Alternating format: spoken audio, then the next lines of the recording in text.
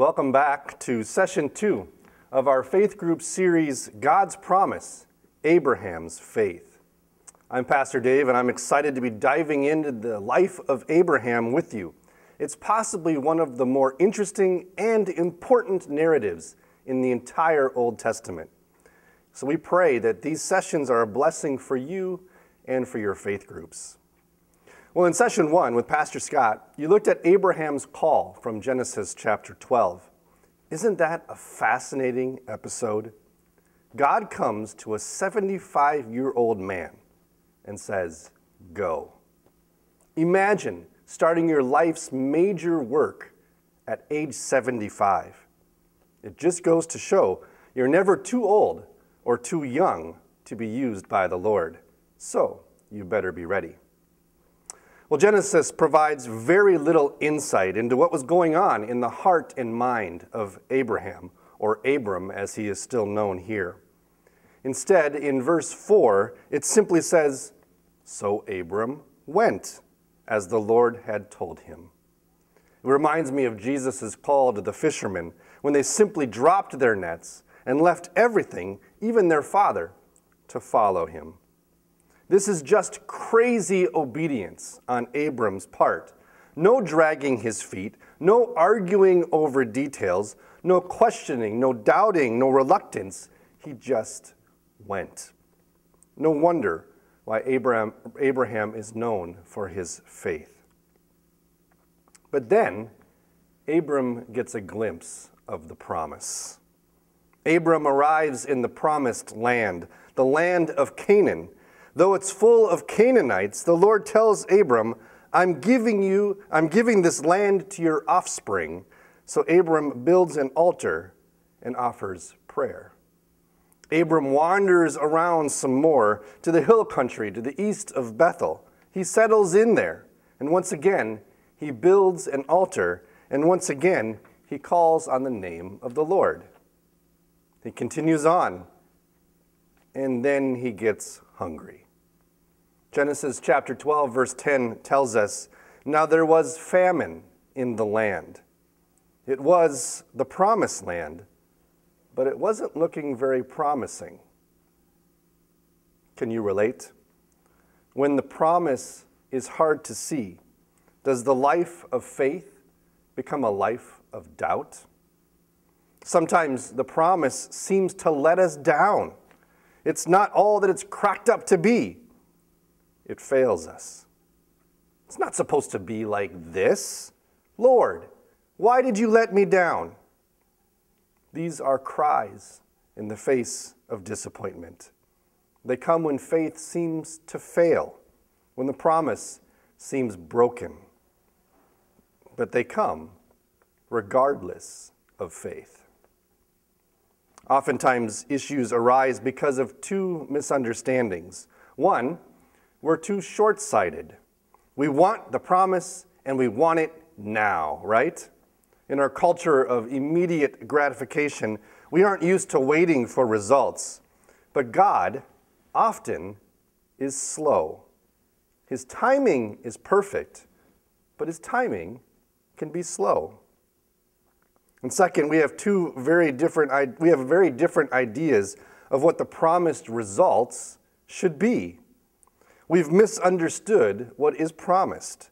We think God has promised us things like health and happiness. We love that quote from Jeremiah 29 I know the plans I have for you, plans to prosper you and not to harm you, plans to give you hope and a future.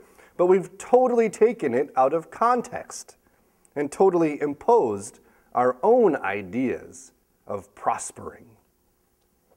So then, of course, when the promise doesn't come in our timing or with our results, we blame God. We lose faith and we take matters into our own hands.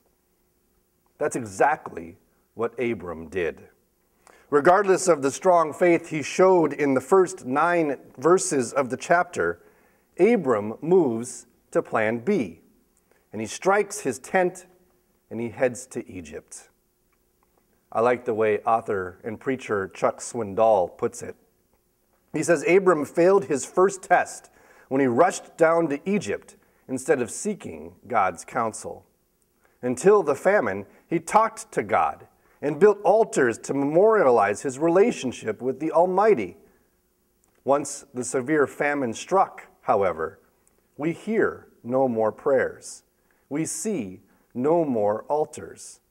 Rather than seeking God's instruction, Abram made a beeline for where caravan merchants said he would find food in abundance.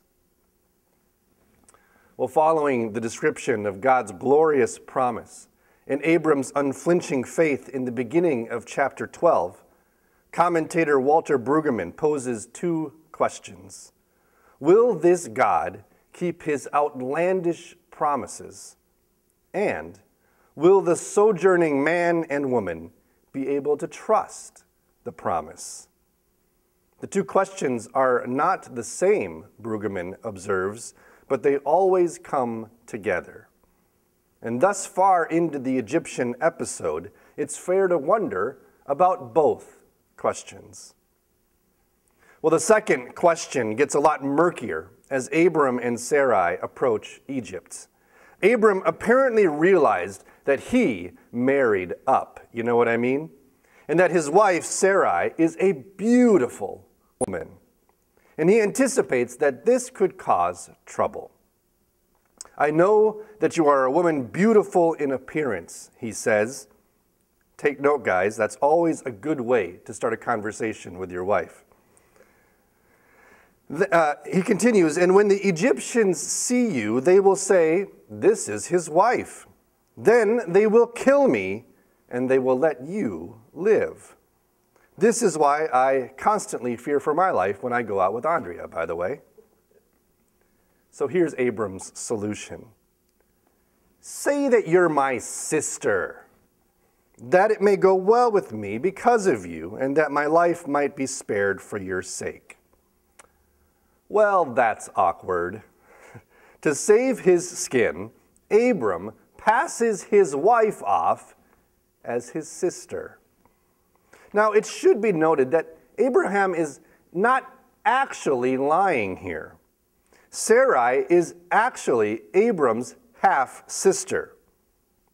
But do you think Sarai took it this way? I don't think so. But Abram was right. Sarai was beautiful, not bad for a 65 year old woman. And she caught the eye of, of all people in Egypt, the Pharaoh, one of the most powerful kings in the world.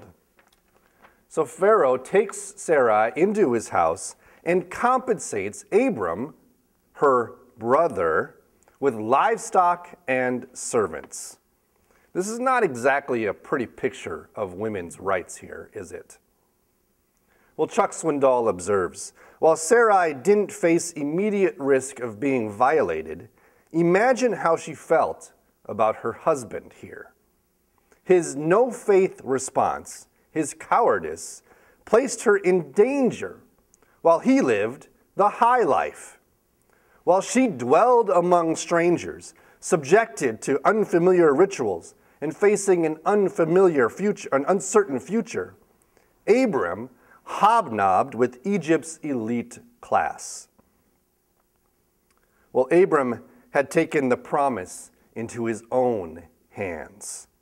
He pursued his own ends here with his own means. Well known commentator Gerhard von Rad observes that the bearer of the promise is the greatest enemy of the promise here. Martin Luther adds that Abram let the word get out of his sight. And as a result, he even fails to protect his own wife. But the Lord does not. Verse 17 is the only mention of God in this story. It says, But the Lord afflicted Pharaoh and his house with great plagues because of Sarai Abraham's wife. When Abram fails, the Lord succeeds. Back in the Lord's promise to Abraham in verse 3, he declared, I will bless those who bless you, and to him who dishonors you, I will curse.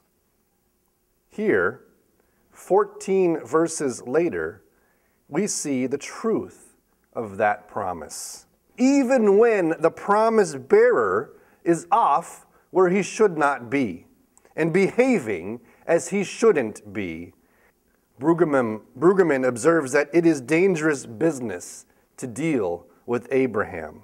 Something powerful is at work here, more powerful than Abram or the Egyptian empire. People and nations are blessed through Abraham and his offspring, or people are cursed by Abraham and his offspring. Oh, and by the way, through faith, you are Abraham's offspring. How are you a blessing to others? And how are you a curse to others? Maybe don't ask your spouse that one. Well, Pharaoh somehow discovers that these plagues are due to the fact that this woman that he thought to be Abram's sister is actually Abram's wife. Naturally, he is stunned by the news and feels betrayed. But surprisingly, he doesn't deal vengefully with this lying, wandering nomad, but instead he simply says, Here is your wife, take her and go. And it says, Pharaoh gave men orders concerning him, and they sent him away with his wife and all that he had. Now, did you catch that? Abram was sent packing, but he was sent packing with everything that he had acquired through his dishonesty. All the livestock, the servants, and the wealth given to him on account of his sister. For all of his cowardice and moral failure, Abram still continues to be protected and blessed by God. God, who promised, uh, who promised, still continues to rescue Abram and even more, bless Abram. Will the sojourning man and woman be able to trust the promise? Well, we're going to see that it's going to be a struggle. Abraham and Sarah are, after all, human, and as humans, they are sinners. They'll have moments of amazing trust and then moments of woeful failure. Indeed, Abraham actually tries this same sister trick again in, ver- in chapter 20. But the other question will this God keep his outlandish promises. Well, we're going to see that this is consistently and steadfastly a yes. A yes and then some. God will keep his promise in spite of Abraham. And God will keep his promises in spite of you. And he'll do it for you in a sense, it's refreshing, or at least reassuring, for sinners like us to see sinner, a, a sinner like Abram. He's no different than we are. But it is even more refreshing and even more reassuring to see the faithfulness of God. He is true to his promises, no matter how much we are not. Well, I hope this spurs some great discussion for you. God bless you, and we'll see you in church.